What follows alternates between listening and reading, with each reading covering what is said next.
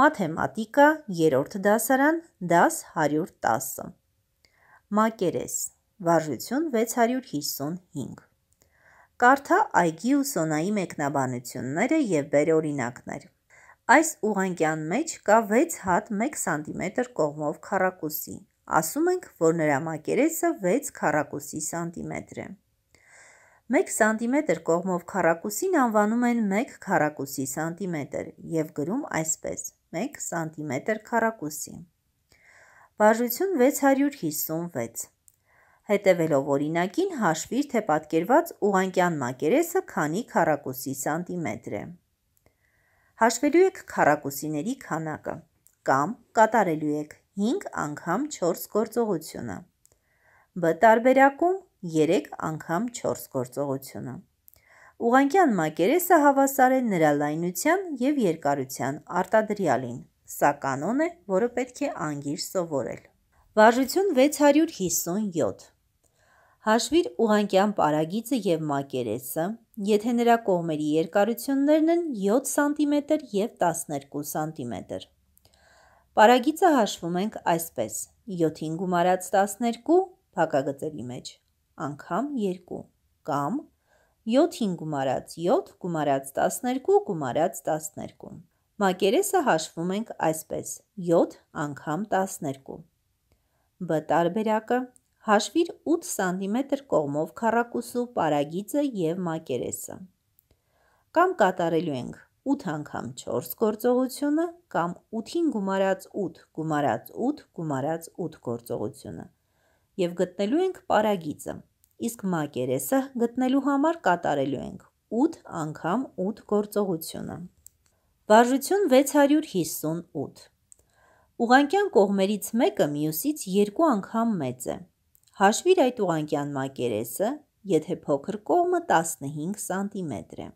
Եկեք նախ գտնենք մեծ կողմը։ Դրա համար կկատարենք 15 անգամ 2 գործողությունը, կստանանք 30։ Պարագիծը գտնելու համար կկատարենք 15-ին գումարած 15 գումարած 30 գումարած 30 գործողությունը։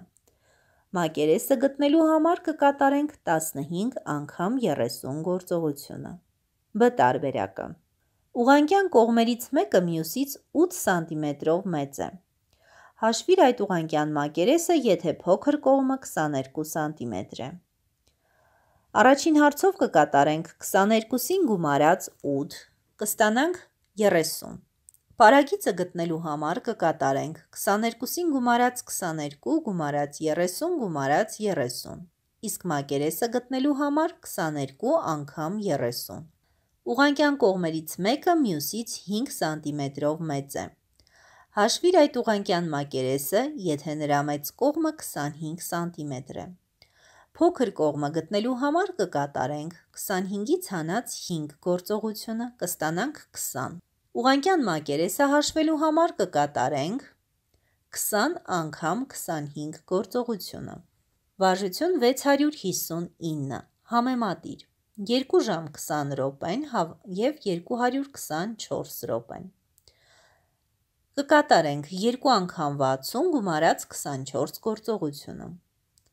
Կստանանք 144։ 144-ը փոքր է 224-ից։ 2 օր 15 ժամը կվերածենք ժամի, կկատարենք 2 անգամ 24 գումարած 15 գործողությունը։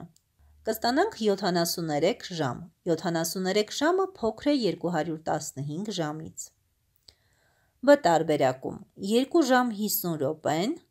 կվերածենք րոպեի, կկատարենք 2 անգամ 60 գումարած 50 գործողությունը։ Կստանանք 170։ 170-ը փոքր է 250-ից։ 3 օր 10 ժամը կվերածենք ժամի, կկատարենք 3 անգամ 24 գումարած 10, կստանանք 82, 82-ը փոքր է 310-ից։ Վարժություն 660, հաշվիր արտահայտության արժեքը։ Սա կհաշվեք ինքնուրույն, հիշում ենք, որ նախ կատարում ենք բազմապատկման գործողությունները, ապա գումարման կամ հանման։